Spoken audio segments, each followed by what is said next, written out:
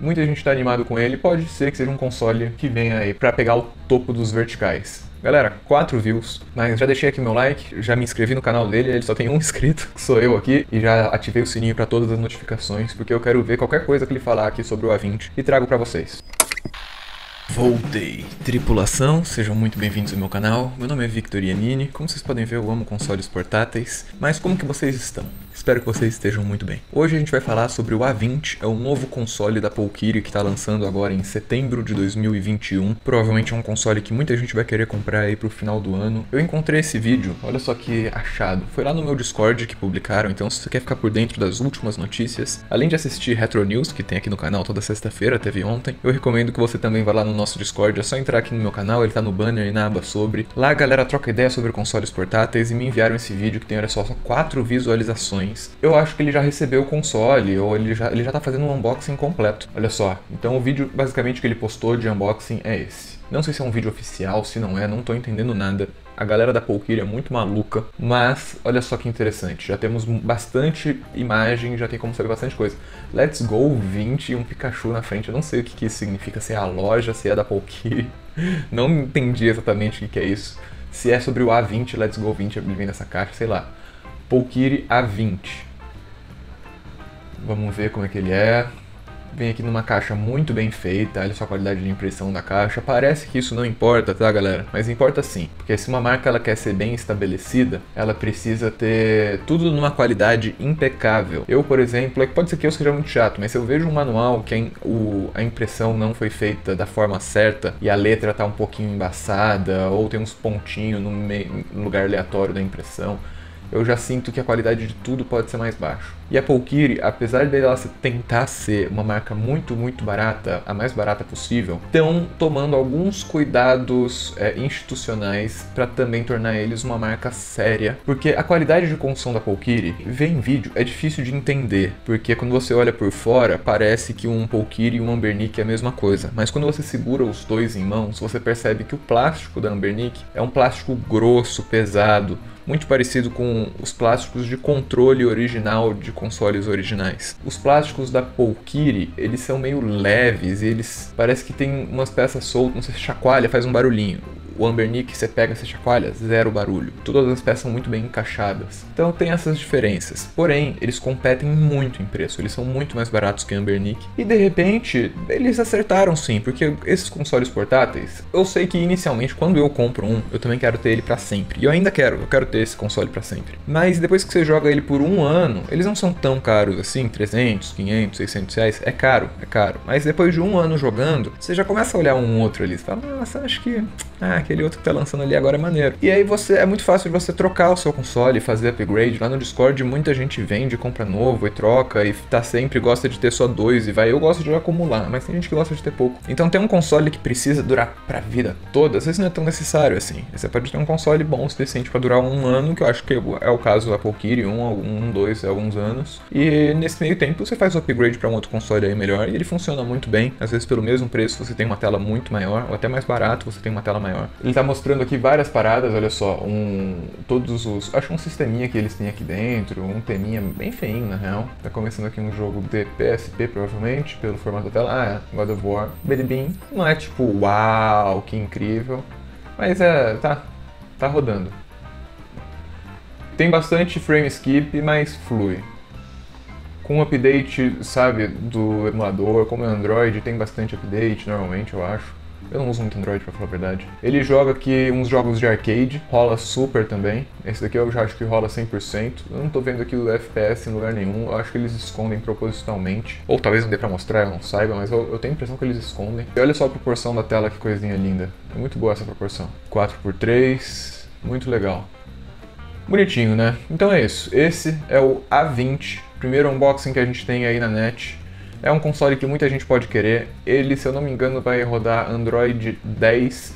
O outro, o X18S, que foi prorrogado para mês que vem e ia lançar junto com ele, vai rodar Android 11, se eu não me engano. Muita gente está animado com ele. Pode ser que seja um console que venha aí para pegar o topo dos verticais. Galera, 4 views, procura aí. Eu sei que é difícil da gente procurar esse vídeo. Talvez se você entrar lá no Discord você e pergunte lá, alguém te marque. Se eu lembrar, eu coloco ele aqui em algum card. Mas eu também não posso perder esse link até lá.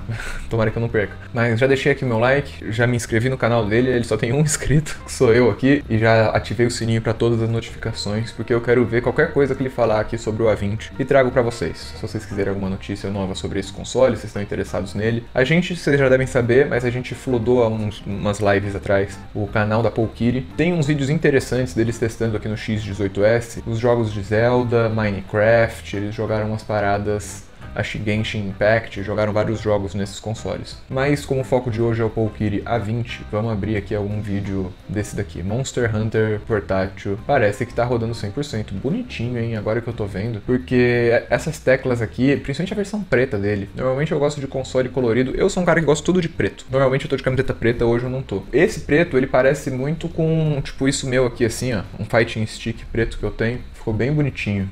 Interessante. Vamos ver o preço que ele vai sair. Galera, canal dele é super pequeno, 72 likes, provavelmente, pô, mesma coisa que eu tenho aqui também, 450 lá, tem 7 mil views, mais views que eu vou ter nesse vídeo, provavelmente. Mas eu recomendo que você vá lá e talvez comente aqui no vídeo deles que vocês chegaram aqui por causa do meu canal. Vamos ver se alguém comentou aqui o meu nome. Envie seu console pro Vitor Yemini pra testar, muito obrigado, cara. Oi, Kiri, o Vitor Yemini me trouxe até aqui, o Fagner Ferreira. Muito obrigado, galera, vocês que dão a maior força aqui pro canal. Esse é um console que eu tô, agora que eu vi essa versãozinha aqui preta, que, que parece tipo um irmãozinho desse meu Fighting Stick aqui, que eu uso de Stream Deck, eu fiquei mais animado até para esse console. E Pokiri, como vocês sabem, os preços muito competitivos, provavelmente vai ser bem menos que mil reais, não sei quanto que vai ser, não quero chutar, mas provavelmente aí entre 600 reais e 800, provavelmente. Quem sabe até menos. Isso é tudo que a gente sabe aqui sobre esse console. Deixa eu ver se eles colocaram aqui o link com os specs. Ah, já tá escrito aqui os specs. Tem Bluetooth, tem conexão, conecta até quatro controles, então o Bluetooth acho que é 5.0. Tem entradinha de headphone, tem saída HDMI, isso é muito importante, cara. Saída HDMI é muito legal pra gente poder streamar, pra poder fazer live. Pô, isso aqui é maneiríssimo. Pode ser que seja um console portátil que importante aqui pro canal, viu? Tô de olho também. Não sei ainda. A real é que eu tô de olho em muita coisa. Acabei de terminar de fazer o meu Play 2. Eu tô fazendo agora aqui o meu PlayStation Classic. Eu devo ter feito lá na Twitch, twitch.tv victoriamini. Se você não tá lá ainda, você deveria estar. Tá, você não quer perder coisas como essa. Apesar disso ter acontecido nas lives aqui do YouTube, pra ser sincero. Foi uma live de agradecimento aos 5 mil inscritos. Foi uma promessa, na real. Quando a gente chegasse em 5 mil, isso ia acontecer. Quando a gente chegar em 10 mil, se a gente chegar em 10 mil até o fim do ano, vai ser pimenta pura. O que vai deixar aquela poção de Doom no chinelo, porque aquilo dali, mano, no dia seguinte foi horroroso, vocês não têm ideia. Isso é tudo que a gente sabe sobre esse console, olha só que bonitinho ele por trás, saída micro HDMI, vários botõezinhos ali de frente, tem botões de ombro também. Podia ter um segundo analógico?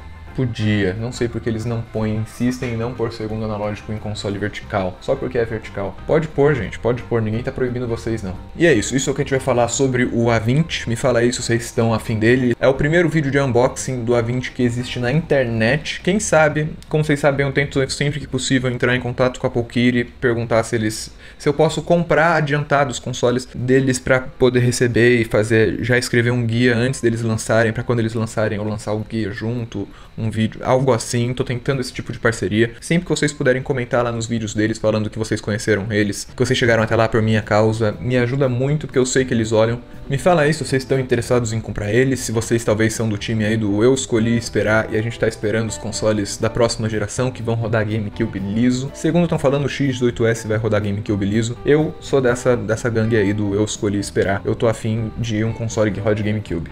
Eu já tô cheio de consoles que rodam até Nintendo 64 mais ou menos, até PSP mais ou menos. Eu quero um upgrade, quero algo melhor, mas que não saia muito da categoria. Todas as marcas estão prometendo. Aqui no canal eu tento trazer novidades sobre todas elas sempre que possível. E vocês que assistem meus vídeos até o final me ajudam muito, fazem com que essas notícias continuem vindo, então muito, muito obrigado. Se quiser continuar me ajudando, considera de repente se inscrever, clicar no sininho, deixar o like, comentar, compartilhar, virar um membro. São os membros que fazem os vídeos aqui acontecerem diariamente. Quando não tem vídeo, tem live. As lives costumam ser de domingo, terça e quinta, mas pode ser qualquer dia. Eu costumo responder todo mundo do chat e é um ritmo meio insano que a gente vai ali trocando ideia. Enquanto eu fico num livre fluxo de pensamento.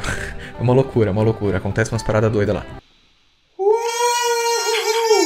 Muito obrigado por fazer parte dessa jornada. Meu nome é Victor Yemini, aqui e em todas as redes sociais. Antes da gente finalizar o vídeo, só vamos dar uma olhadinha aqui que essa semana a gente ainda não olhou, o Reddit do canal. A gente tem aqui um Reddit. Lembra de enviar fotos de suas coleções lá pro reddit.com/rvictoriemini. Vocês já conhecem a minha coleção, quero conhecer de vocês. Muito obrigado por fazer parte dessa jornada. Meu nome é Victor Yemini, como sempre. Eu volto no instante.